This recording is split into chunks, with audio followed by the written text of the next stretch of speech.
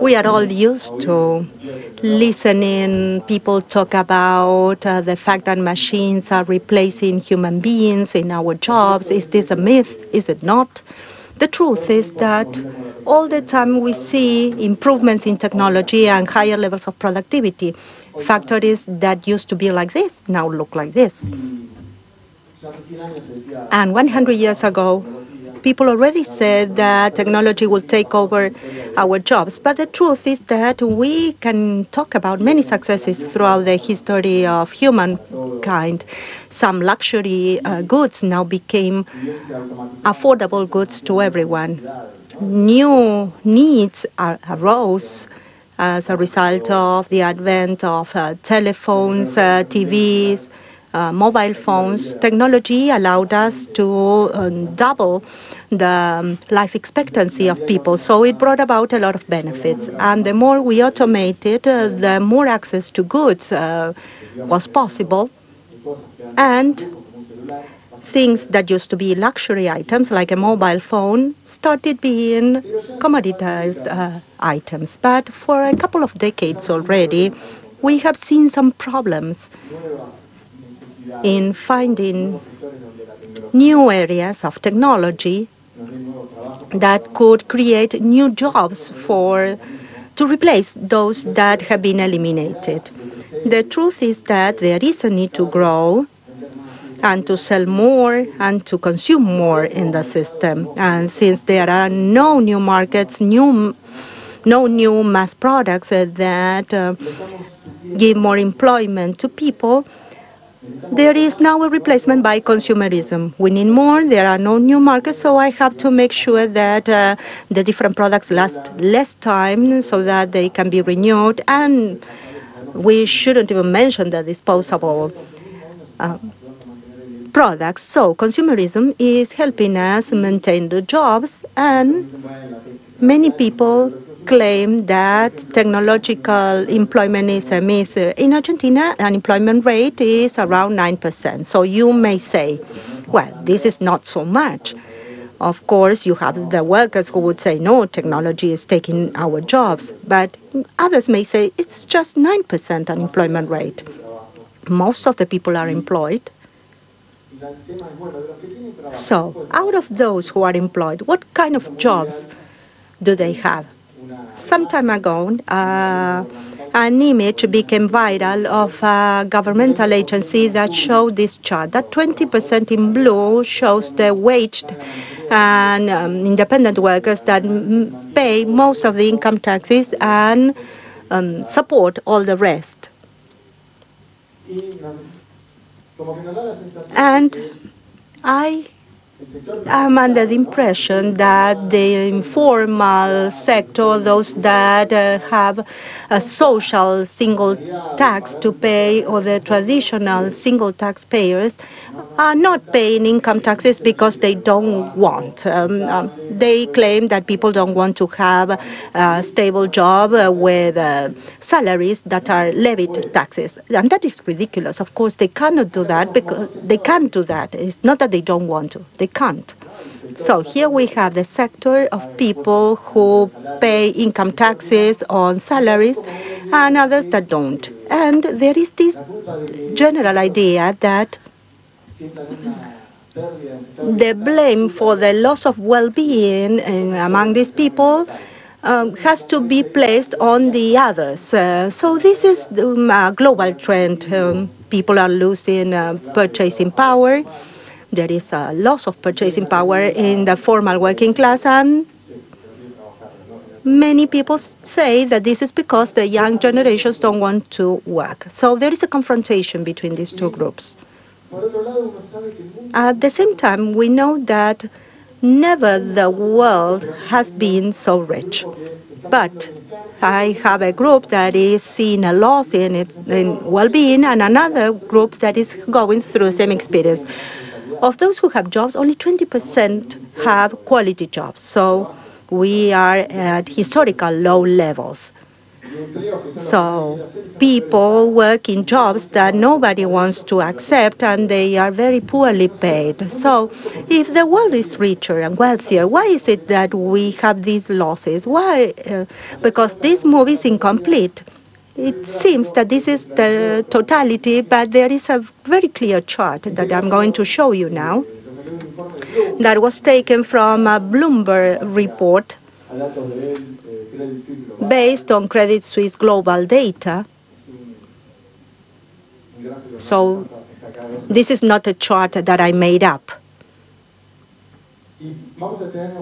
And let's take a minute to look at the details in this chart. We see here wealth distribution in 2010 vis-à-vis 2017. So we don't have such a long period of time here. 2010 and 2017. In yellow, we see the richest 1% of the population. And here it says that in 2010, this 1% held 36% of all wealth. By 2017, that 1% of the population already held 46% of all wealth. Now, that uh, figure has risen to 50%. That reached 1% group uh, was not in the previous uh, chart. They do not make their money, their wealth uh, based on salary, but on interest, on capital. They are the ones who are owners of financial income, of assets, and that was not included in the previous table. So where do we have wage earners? Here in the second sector, formal wage earners, in that 30%. In 2010, they held 68% of wealth, but now they hold 50% of wealth. So there was a drop in their well-being levels. So the, the amount of wealth has not uh, get, gotten smaller. It has grown. So the global population um, grows at three at one percent, and wealth is growing at three percent. So the richer are getting richer. But in this context, we see that wealth is in the hands of those who own technology and assets. The new wealth that is being generated goes to their hands. So the 30% of formal workers who now hold only 50% of the wealth, although the world is richer, they have a smaller share. They are being told that they have to blame this 68% that only held 4% in 2010 and now they hold 3%. It lost 25% of its income. So, both groups are being harmed by the system. The problem lies in the accumulation of wealth in a few hands. The, what you see in black and in gray here represents a sector that makes uh, its income from the salary obtained through working. So those who have money today have access to technologies that put workers at a greater disadvantage today. So we see increasingly precarious jobs now. Yes, of course, you can have a job if you want to work. This is the richest world. Uh, we have more wealth than ever before. We, we can produce food. It seems that there is abundance in reality, but that is not what you are told. You are told, well, if you want to work, we can offer you a job. And this is the new kinds of jobs that are being created almost like slavery.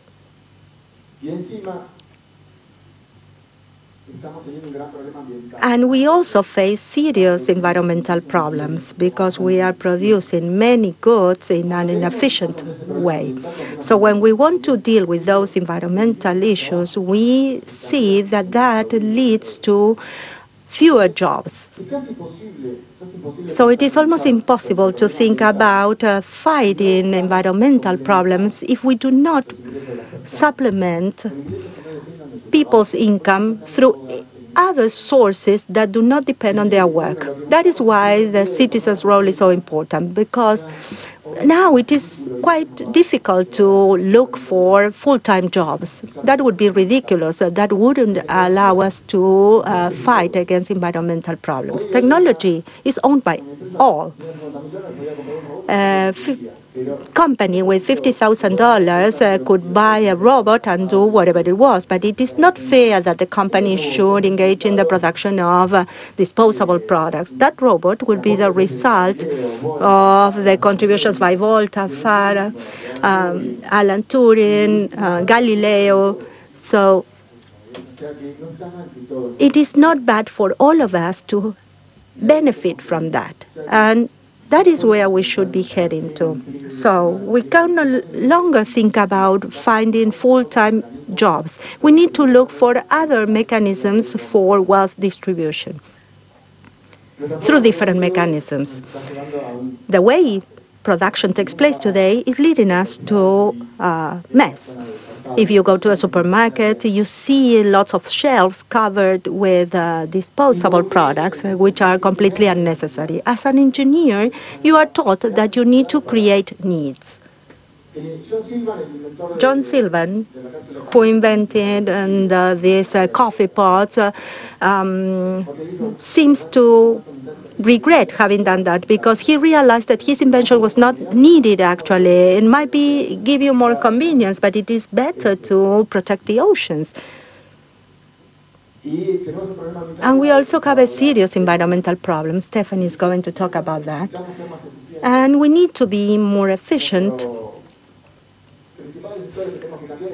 We need to effect changes in the energy sector. We need to stop burning oil to produce energy and for transportation purposes. We also have a problem with our diets uh, based on the consumption of beef uh, that also um, has consequences in terms of deforestation. Are there solutions to these problems? Yes, of course, and we can improve on those solutions. But what about these solutions? These solutions do away with a lot of jobs. So today, in Europe, they are trying to consider banning uh, single-use plastic products, but they realize that this may have a serious fallout. Uh, so throughout the chain, so they ultimately decide to keep things as they are today. But we need to find another way to do this. We cannot continue having jobs that do not make sense um, to just to maintain the planet as it is. And we can also introduce changes in transportation and in uh, food and eating habits. So we need also to transition towards clean energies. Technology helps us be more efficient. Think that in 2005 you needed a lot of items to, for different tasks. But today you just can concentrate everything in a smartphone. And this also relates to the loss of jobs along the way. We already have electric cars, autonomous uh, driving uh, is quite advanced today. We just need a few years uh, to see this technology mature. And instead of having a car, you can call a Uber, but a driverless Uber car. That car could be shared, and we can solve mobility needs with 10 or 15 percent of the car a fleet that exists today with cars that would not pollute the environment, that would uh, make no noise, and that need very little maintenance. Of course, that results in the elimination of many jobs. So the impact on the environment uh, may be very big, but um, if you consider the what would happen if we had all these cars, then that, there would be a good solution for the environment. Clean energies are already affordable, cheap, competitive, and you may use batteries and solar panels uh, to, that may lead to sustainability. And now we also see meat that is chemical ident identical to the meat that we are consuming today, but uh, that requires no killing of animals. no use of water. So, and, and this kind of meat is created in laboratories. So, with uh, 100 times less water and space, you can have this kind of meat. But it will be very difficult for us to um, envisage a significant reduction of meat consumption. But of course, this brings about also a cut on jobs. Imagine in Argentina what would happen. So, when a robot takes a person's job, the person may say, well, where can I, how can I make a living now? But uh, look at the entire history of humankind. Each technological solution was celebrated. If you have a group of collectors or hunters, somebody may come up with a new trap and they would get an animal and they would complain say, no, they actually they celebrated because they could have more time just to watch the stars, to practice polylove. Now society is asking not to have an invention of solutions to solve these problems. So it seems that everything is upside down. That is why we need uh, citizens' uh, income.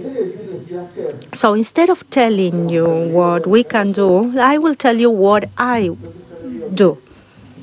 So I promise to make an effort to unlearn the culture of consumerism before buying something. I sincerely ask myself whether I need it. I adopt uh, habits that have a lesser environmental impact, although they may imply some inconvenience, like uh, just refilling um, bottles and buying um, products in bulk. Uh, also, living in a place, um, living not not living to work, but working to live, provided that uh, I can have some uh, benefit for the common good.